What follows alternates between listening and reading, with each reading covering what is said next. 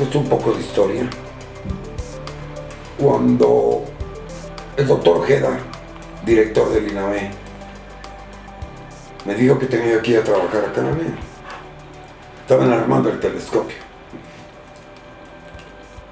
Entonces yo, yo me dediqué exclusivamente primero a dejar el edificio completamente habitable, ¿sí? ¿Sí? La electricidad que estuviera al centavo.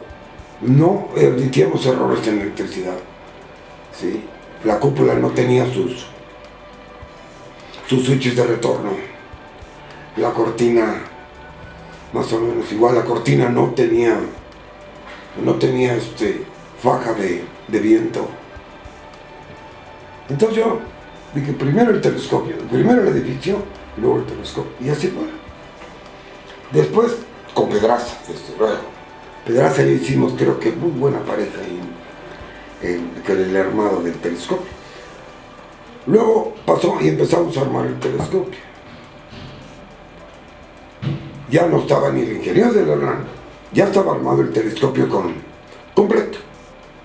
Hasta el secundario creo que tenía, no recuerdo ya muy bien. Y ya, cuando lo que hicimos echar a andar, le amarramos la grúa y lo que hicimos mover en ascensión recta, pedraza ya. El telescopio no se movió, el telescopio se atoraba. No lo podíamos mover un milímetro. Y no le podíamos dar el jalón porque se puede romper el engrane, porque no sabíamos qué era lo que lo estaba atorando. Toño, que era el delegado, estábamos en el telescopio, estábamos viendo esto, que dice que poniendo el aceite que no entraba ni nada. Perdón. Y me dice, Toño, voy a Cananea, pero regreso. No se les ofrece nada. Sí, Pepe. Y le digo, sí. A mí sí. ¿No me puedes traer dos lavativas, por favor? Que se empieza a atacar todos de risa. No, Pepe, estás al... ¿En serio? Serio. ¿De veras, Pepe? Sí, yo los traigo. ¿eh?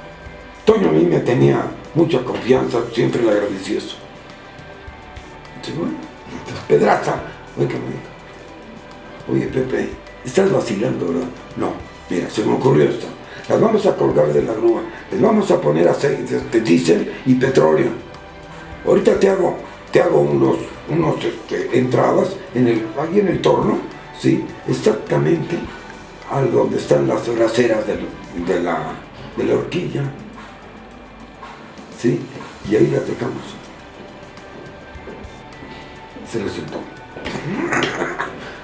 A los tres días lo pudimos mover, creo que 5 centímetros.